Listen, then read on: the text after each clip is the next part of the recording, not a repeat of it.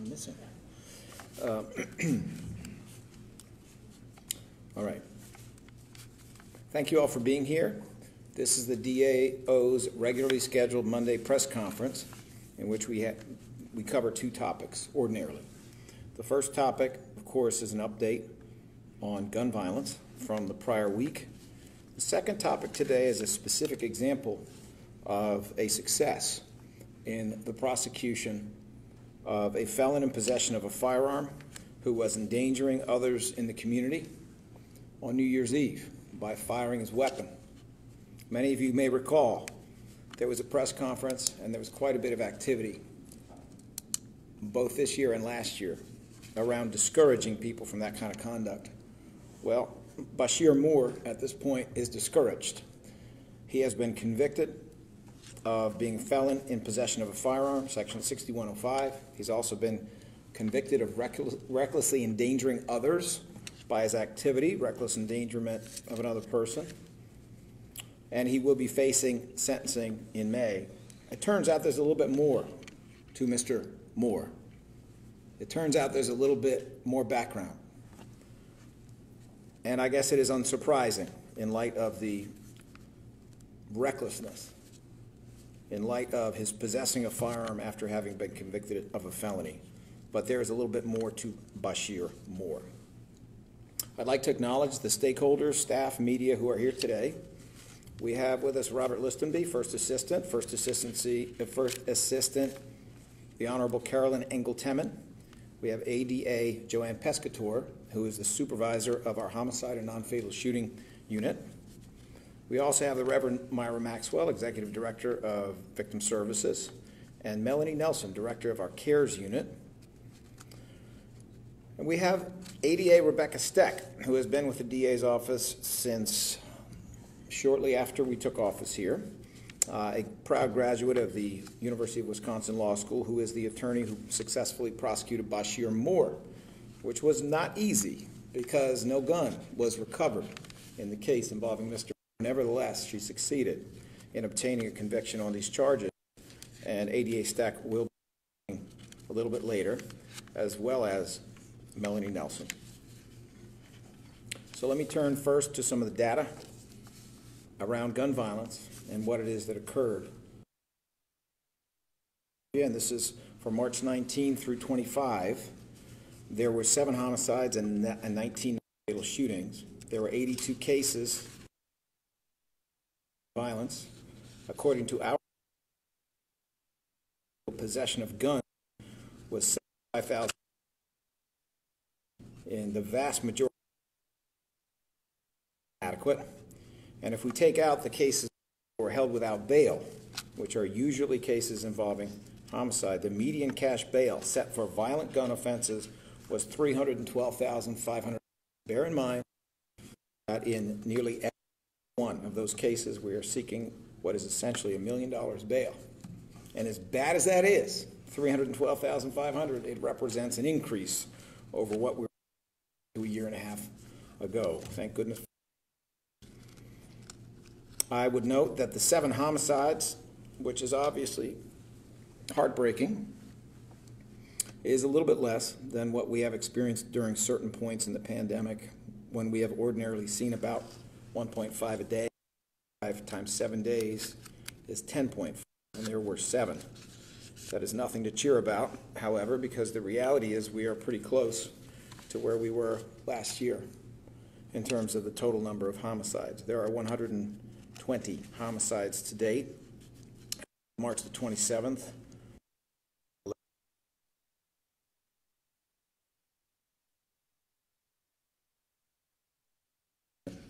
increase. There were 19 non-fatal shootings, as I might have mentioned earlier. Overall, of the 115 gun-related incidents reported to the Philadelphia Police Department last week, there were 83 arrests made by the police department. Of the 83 arrests submitted to the DA's office for possible charging, there were 82 cases opened by the DA's office based upon those cases. I'd like to highlight a couple of specific incidents. three in particular. The first is a shooting incident Thursday, March the 24th, at about 9:12 p.m. in the 6,000 block of Mulberry Street. An approximately 15-year-old white male shot once in the right side and once in the head. He was transported to Jefferson Torresdale Hospital by police. He passed away the next day. No arrest has been made at this time by the police department. This investigation remains ongoing. Anyone with information should contact PPD's Shooting Investigation Group at 215-686-8270. That, of course, is the group that Commissioner Outlaw uh, originated recently, headed by Captain Johnny Walker. I was just on the phone with Captain Walker talking about a couple of things, let me put it that way. Um, and we are delighted to see the hard and careful work that they're doing on this and many other cases. Second incident is a shooting incident, a non-fatal shooting on Sunday, March the 27th at about 5:53 p.m. in the 6000 block of North 5th Street, inside of the 7-Eleven in the 35th Police District. A Hispanic male about 23 years old was shot once in the right ankle. He was taken to Einstein where he was placed in stable condition. There is no arrest at this time. Anybody with information same group, 215-686-8270. The third one, shooting incident, is a homicide that occurred on Sunday, March the 27th at about 10:57 p.m. at 5650, 5650 Ridge Avenue in the Sunoco parking lot in the 5th Police District. An unresponsive black male was found on the highway with multiple gunshot wounds. He was pronounced at the scene by medics there were two scenes in the incident, one at 5650 Ridge Avenue and the 400 block of Kingsley Street. No arrest has been made at this time. Once again, the investigation is ongoing.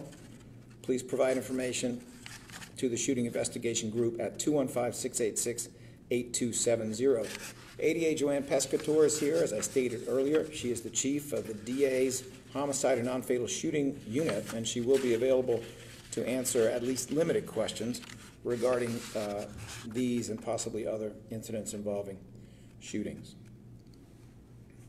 I think part of what this press conference stands for, in addition to making sure that we remain connected and we communicate about what is going on with gun violence, is it stands for accountability because we are here, in addition to reviewing last week's data, to talk about somebody getting convicted and facing a sentencing and not just a sentencing, also facing a violation for having been on a prior period of supervision. We are talking about accountability. Don't believe the hype. Sometimes politics gets in the way of fact. This office is really good if you get locked up at getting you convicted for firing guns at other people, for firing guns in the air, for harming other people with guns. We will continue to report on the big picture and the little picture. But the little picture matters, and the little picture here is that day after day after day, very, very talented lawyers go to court, work very hard, and convict people who deserve to be convicted for pointing guns at other human beings and firing them. We will continue to push prevention as one of the best ways to make sure the next victimization does not occur, and we will continue to push modern enforcement including the use of forensics, which is woefully lacking in the city, despite having an excellent chief of our forensics unit in the Philadelphia Police Department. We will continue to push these things because it is what we do. At this time, I'd like to introduce Melanie Nelson, who is, of course, responsible for a very important aspect of what we do in prevention and also in terms of things necessary for us to be successful in holding people accountable and that is that the CARES unit she supervises cares for people. It takes care of them. Ms. Nelson?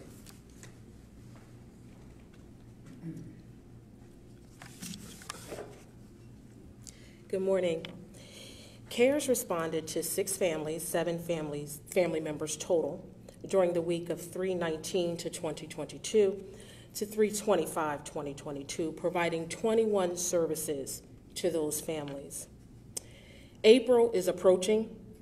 National Victims' Rights Week is coming up. It was a tongue twister, I'm sorry. April 24th to April the 30th. The district attorney's office will be present. We asked that you hold those victims a little while longer. We ask that you hold those co homicide survivors a little while longer. And during National Victims' Rights Week, please join the Philadelphia District Attorney's Office. We will be there in Harrisburg.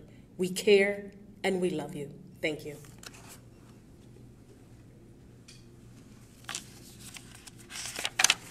Thank you, Ms. Nelson.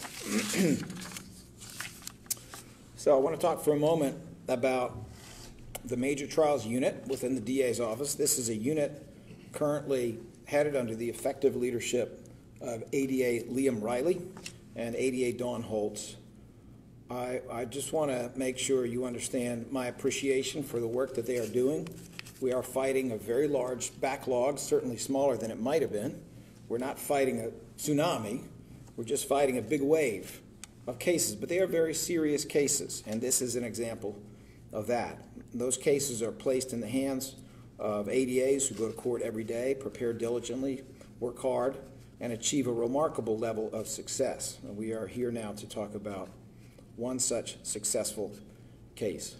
I'd like to call forward ADA Rebecca Steck to discuss her recent success in the case involving defendant Bashir Moore.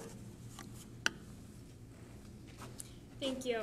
Hello, everyone. Um, so, as DA Krasner said, my name is Rebecca Steck. I'm currently an assistant district attorney in the majors unit.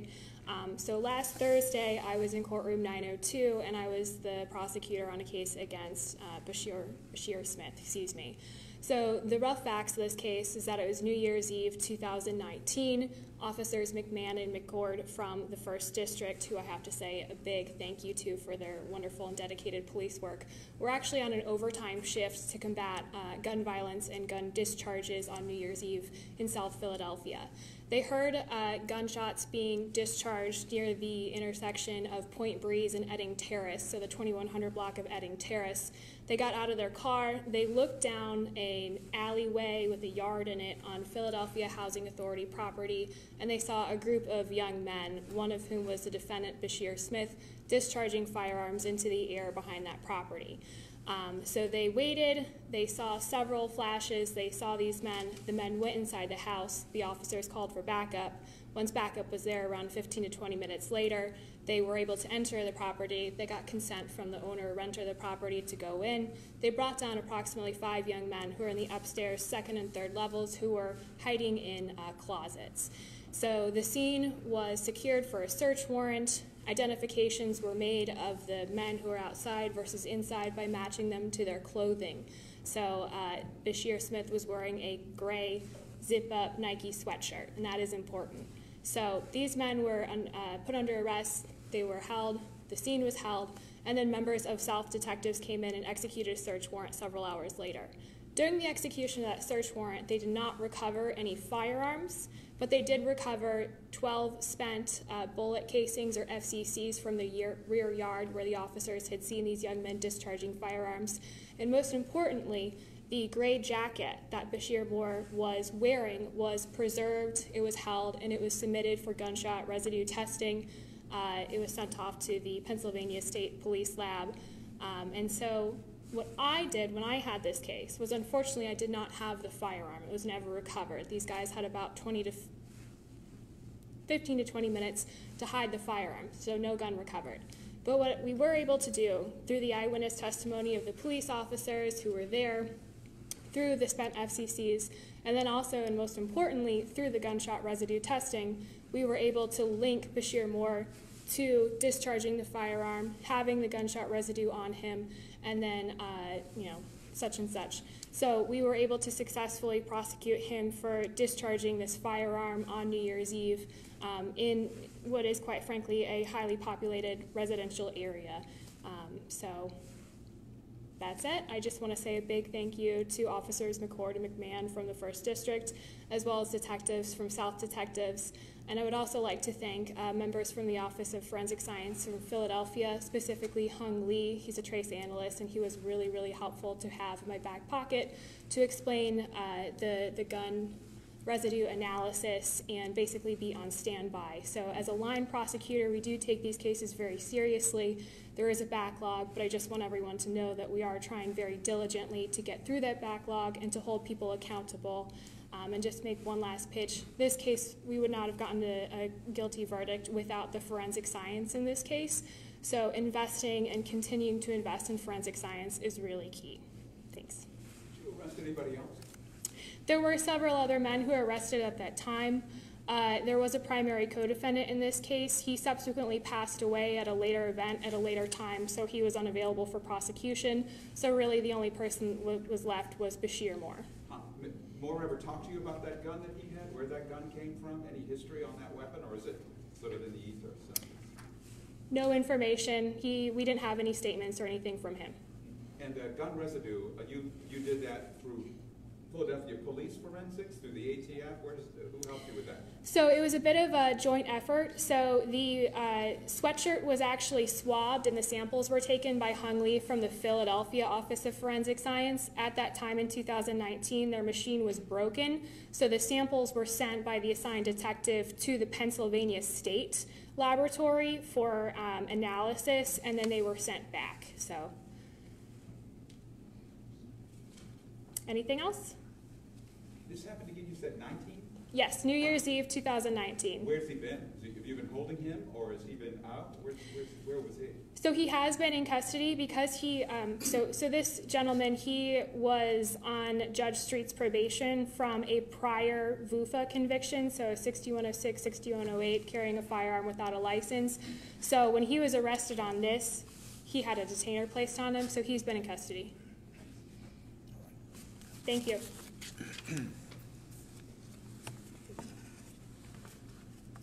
All right. Um, I would also like to note, and no, I can't get into detail, uh, Moore and Smith are two different names that appear in the records with reference to this defendant, and also, this is someone who we have reason to believe is associated with one or more of the groups that are driving gun violence in the city of Philadelphia. So the significance of the arrest goes beyond the immediate act.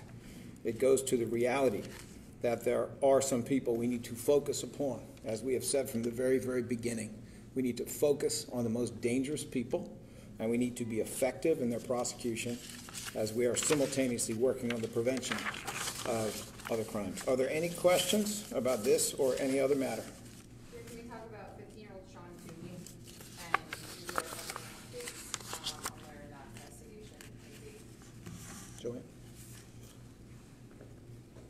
Thank you, DA Krasner. Uh, No updates to report at this moment. Um, The, it's now uh, been classified as a homicide, so the homicide department is uh, handling the job. Uh, They will take whatever information was gathered by the detectives who initially had the job and hopefully run with it. I would ask if anybody has any information about this case, please call the homicide unit 215 686 3334. Following up on that, it's been a rough year here in Philadelphia for teenagers being shot. Do you notice any trends, and if so, how is your office responding to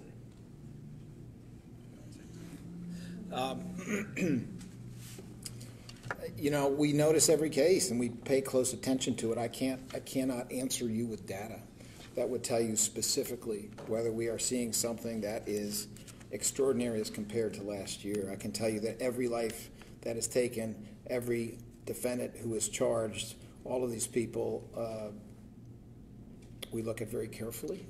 We take those cases very seriously. I'm not trying to avoid your question, but I don't want to resort to what sometimes happens in the media, which is we just make grand statements based upon a couple cases that may or may not be correct. If you do have a more specific question about whatever it may be, uh, we would be happy to try to get you some data and give you an answer that's a little bit more serious than that. As for what we are doing in our function as a prosecutor's office that goes to court to prosecute cases, we are always limited by the number of cases that are solved. And so when I explained that there were 83 arrests made in cases involving either gun possession or other gun crimes, we brought 82 of those cases. That's what we do. We always bring uh, what is essentially every single case where there's sufficient evidence to bring it, and that is some number close to 99%, 98%. So we bring them and we prosecute them vigorously within the limitations that we have. I think it is important, though, to note not only my stressing of the need for additional forensic resources, but also what you heard from ADA Steck. She hasn't been around all that long in the sense that she hasn't been in this office working as a prosecutor all that long. But it doesn't take long before you figure out that when your whole case hinges on gunshot residue, the machine shouldn't be broken, which is what it was when this incident happened. Thank goodness it's a little bit better now. There is more evidence that might have existed in this case, but we don't have the technology to do it. And I'm not going to give you all the specifics because I'm not here to give lessons to people who shoot guns on how they can avoid their detection. But there is more evidence that could have existed in this case and could exist in many other cases. What happened here is not brand new. It's not brand new that people run away, that the gun is hidden, that the case is a real challenge, and that you have to put it together in other ways, and you have to put it together beyond a reasonable doubt. So, once again, I would like, in the spirit of true collaboration, to encourage federal, state, local authorities find that 50 million bucks that we need for a state-of-the-art forensics lab that takes us from 47,000 square feet to 150,000 square feet, that takes us from being able to do really good forensics on a very limited basis to being able to do brand new modern forensics on a sweeping and comprehensive basis. A lot of this is not just about whether you can do a particular test in one case, it's about whether you can do that test in thousands of cases, you can do it over and over, you can take all of that information together. And so we could end up working together with a much higher level of success when it comes to solving these cases and having really strong cases for prosecution. Uh, the other thing I do want to point out is this is an example of police being very careful not to mess up the case. We have seen instances in the past, sadly, where uh, police took liberties and they searched a phone without a warrant, and it blew up a homicide case. That didn't happen here. At every step, police were mindful to get permission, to get warrants, to move deliberately so they did not put this case in a bad place. So I want to commend them for that because it is obviously tempting at times for police to just go ahead and grab everything, just go through the door, just do this, just do that. But when they do so in violation of the Constitution, they also jeopardize the case. So I want to commend them for having been very careful and deliberate in how they proceeded in terms of consent, in terms of warrants, in terms of what was necessary to make this a successful prosecution. Are there any other questions? Yeah, I have a number. Uh, is the forensic, is the residue machine fixed? Last thing I heard, Larry, they have a new machine. last thing I heard, there was a new machine. Um, you know, look, I'm not, I'm not here to, to, to criticize. I'm here to say there's certain things we need to elevate as we take our police budget from 500 million to 1 billion dollars in the space of eight years, as we double that, if not go even higher. Can somebody please find 5% of one year's policing budget to do that? To make a first-class city first class in the scope of its forensics? You tell us any more about the police officer who uh, has been fired for shooting the 12-year-old in the back? Any, anywhere on, to speak about that case? I can tell you, stay tuned. That I can tell you. Yeah.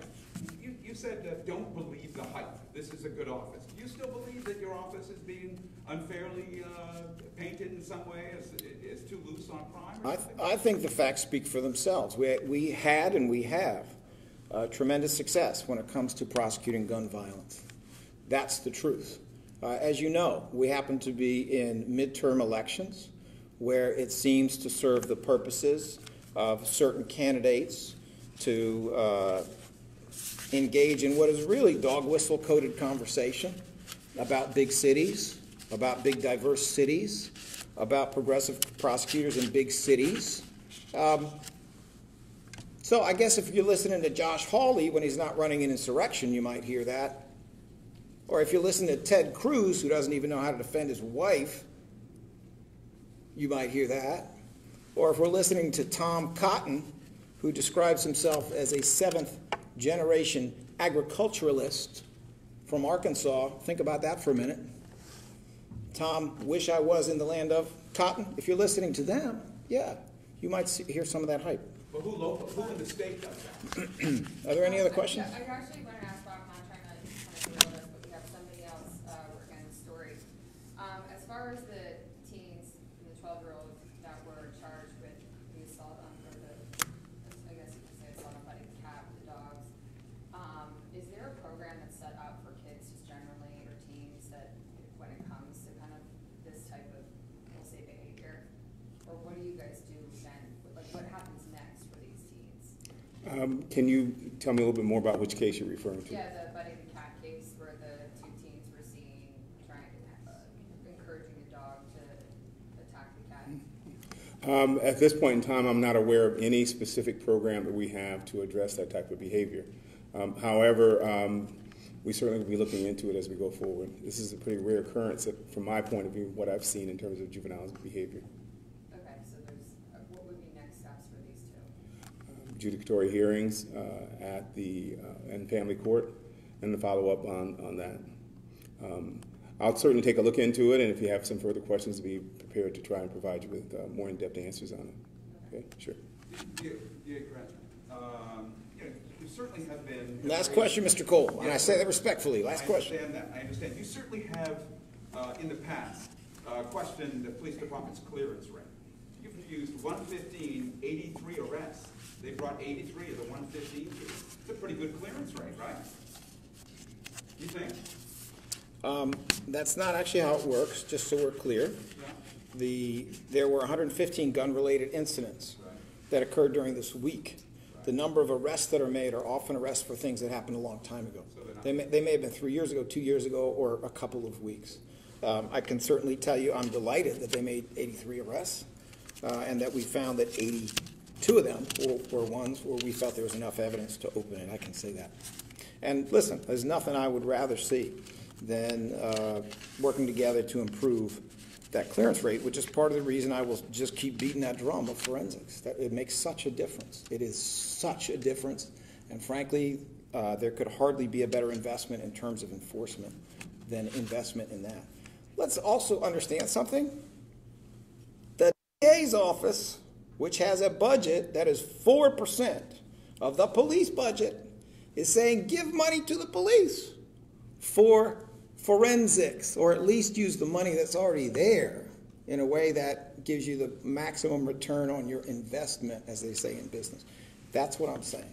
You know, we really are collaborating every way we can to see what we can do about gun violence. I just don't see anything that would be more effective at this time than further investment in forensics. All right. Mr. Any- Krasner, my, my coworker is working on a different story out, on Will slapping Chris Rock at the Oscars out in California.